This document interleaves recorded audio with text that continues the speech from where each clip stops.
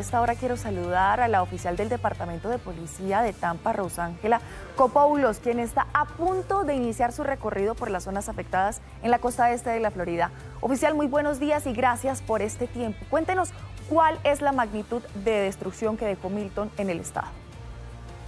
Bueno, mira, fíjate que aquí en Tampa nosotros podemos decir que fuimos dichosos que el huracán no nos impactó como la trayectoria lo traía para nosotros, pero sí fue bien impactante, aunque quedó un poco más al sur de nosotros. Nosotros tenemos muchas carreteras inundadas, tenemos muchos árboles por el piso, negocios afectados, casas sin miles y miles de personas aquí en Tampa que no tienen luz todavía, no tienen electricidad.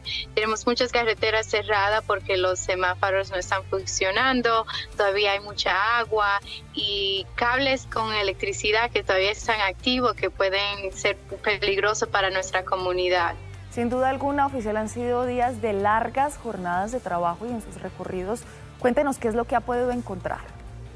Hemos hecho ah, muchos rescates también a personas que no han llamado a nosotros. Por ejemplo, nosotros rescatamos, rescatamos 15 personas de una casa donde el árbol le cayó encima y tuvimos que rescatarlo. También ayudamos a diferentes personas, personas de mayores de edad que necesitaban ayuda.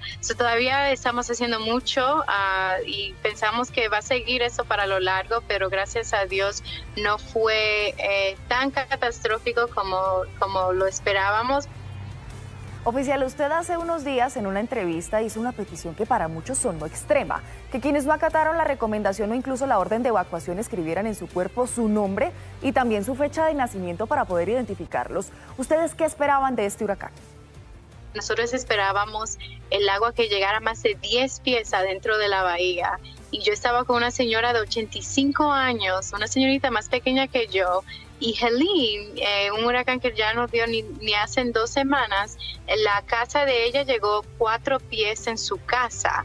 Entonces, eh, este huracán Milton iba a sobrepasar el techo de su casa y ella no quería evacuar. Yo le estaba diciendo a ella, me dio tanta pena con ella porque yo sabía que si esa agua llegara como iba a llegar y ella no evacuara, no la iba a ver al próximo día.